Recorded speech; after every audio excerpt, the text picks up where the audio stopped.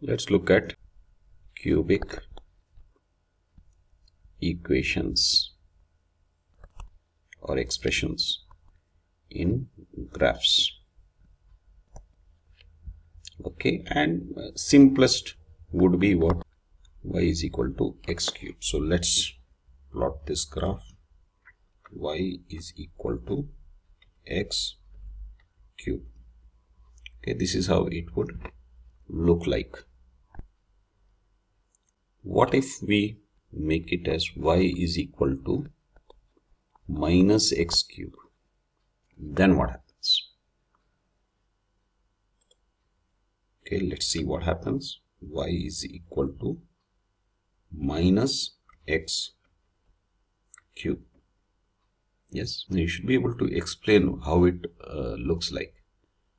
When we go from left to right in case of y equal to x cube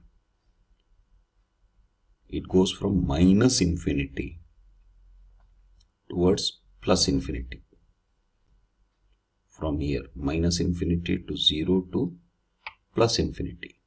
Whereas in case of minus x cube what happens? It starts from plus infinity. And as we go towards the right it goes towards minus infinity. The slope remains negative throughout in case of minus x cube and in case of x cube throughout it remains positive. Now we know that this is an equation of order 3. So which means that there has to be up to 3 roots in real numbers. Up to that means it can be 1 it can be 2 it can be 3 if it is 2 in real numbers that means remaining one is in imaginary numbers. What happens if I reverse just for uh, you know visualizing purpose let's reverse this. Let's say y cube is equal to right? So if I have to write it down y cube is equal to y cube is equal to x. And the other is y cube equal to minus x. Right? Uh, so let's come back here. Let's make it as y cube is equal to x. See it goes left to right. And y cube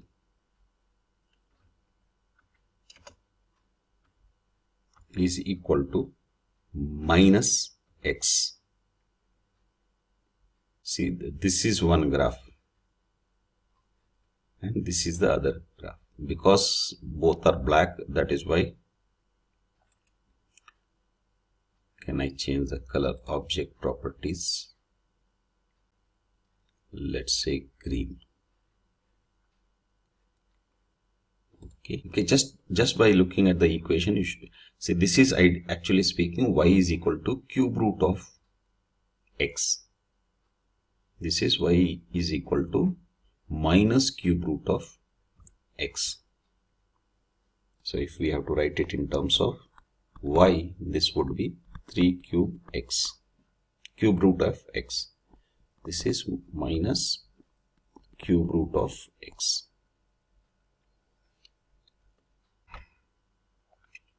Now how about adding some additional you know uh, let's say x if we add what happens? Right since we can't figure out what has happened let's delete this. Let's delete this.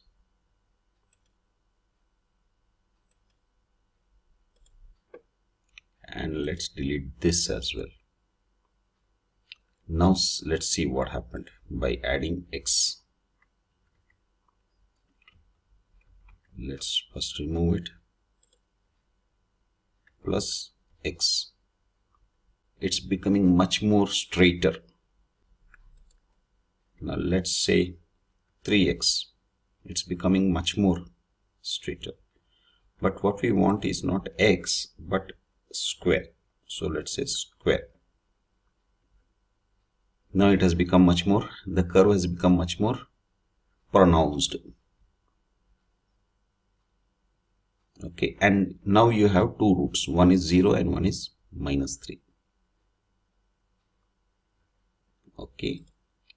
Now let's add 2x yes. Let's remove 2x and see what happens. See the moment you added a 2x or x the moment we add let's say x. Okay now see here the graph has moved down a little bit. It was 0 before. Now because we added x this curve has become less pronounced and the graph has moved a little bit down.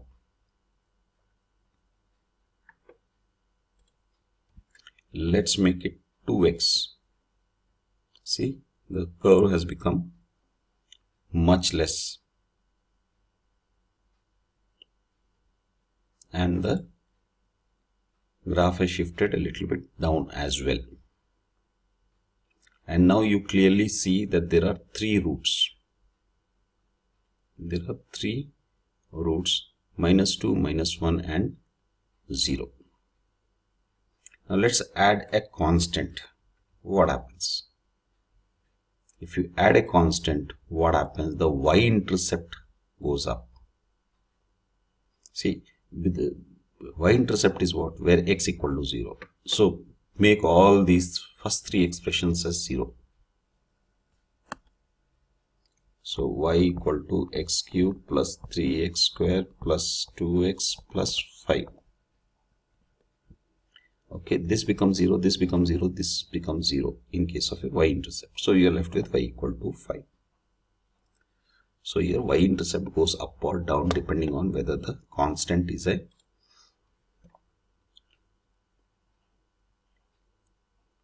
positive or negative number. So let's say minus 1 yes it has come down now. Now with that constant in keeping it as it is let's change this to 3x and see what happens. Yes. The curve is becoming lesser and lesser curved. If I move this can I move it? Let's see first. I can't move it. Some setting has changed. Okay now if I say y cube minus 1 x cube minus 1 cube this is as good as what happens. I have only one x intercept. I have only one root. X cube equal to 1 so x equal to 1 but as per the rule there has to be three roots. That means the two other roots are in uh, complex plane or in imaginary numbers now let's let's change the um, signs one by one in this equation. So x cube plus 3x square plus 2x plus 2x plus 5 okay? Let's not have let's have it somewhere in the middle itself let's say 2 now let's change this to minus 1 or minus. What happened? The moment we made it as minus 1 what happened? The graph has shifted. Y-intercept is 2 the curve has become sharper but most importantly now it goes from min uh, plus infinity to minus infinity. Whereas in the other case see?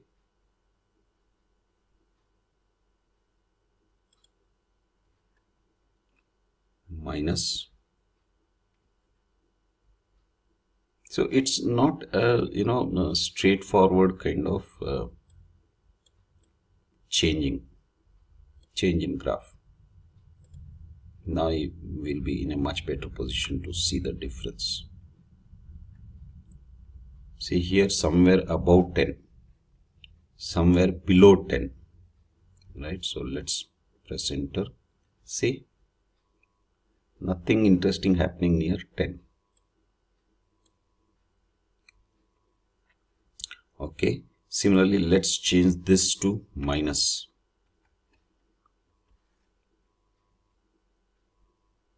right? What happened?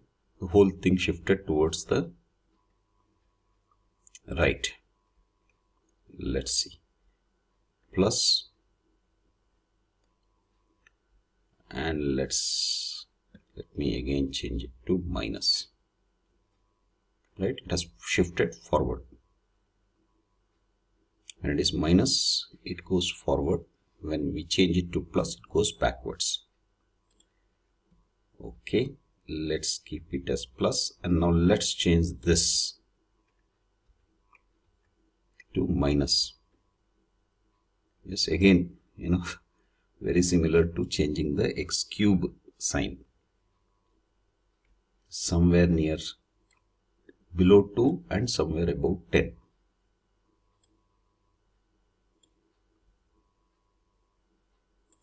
okay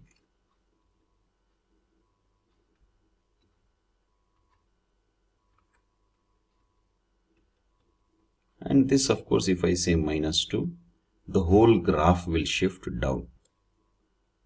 The y-intercept will be minus minus 2k I think that's enough for cubes. Nothing much but it is very important for you to try it out.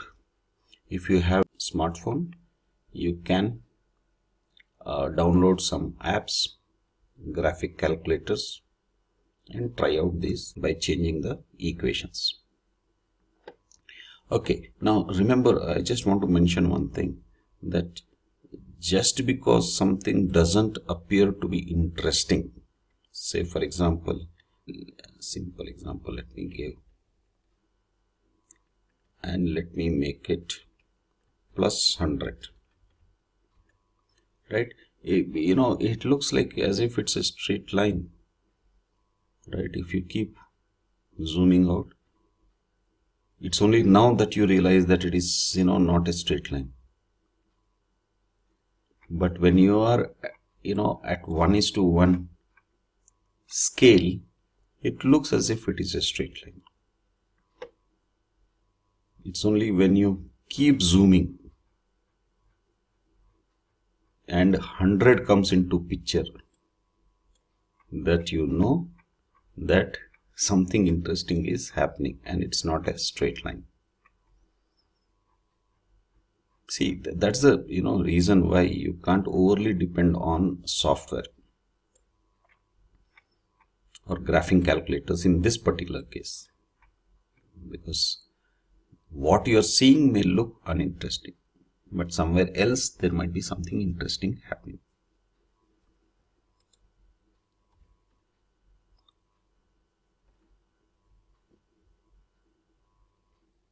but if you know the equation and the effect of each part of the equation on the graph you will be in a much better position to know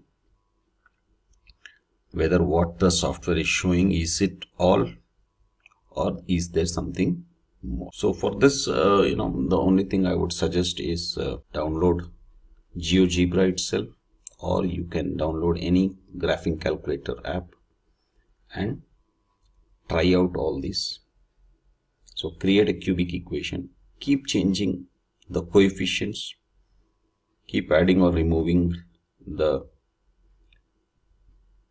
different parts of the equation, x square, x, constant, and see how the graph changes. So, bye for